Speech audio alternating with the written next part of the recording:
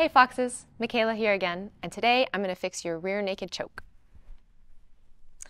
So once I take Carla's back and lay her down on the pillow of death, she knows that I'm going to be going for the choke. So she's going to go two on one, most often to defend.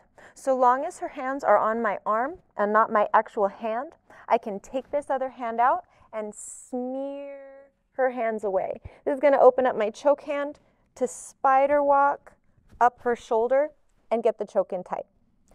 I'm going to go ear to ear to control the neck, put in my rear naked choke grip and squeeze. If she still doesn't want to tap, I'm going to squeeze while I turn her chin away. And that's how I fixed your rear naked choke.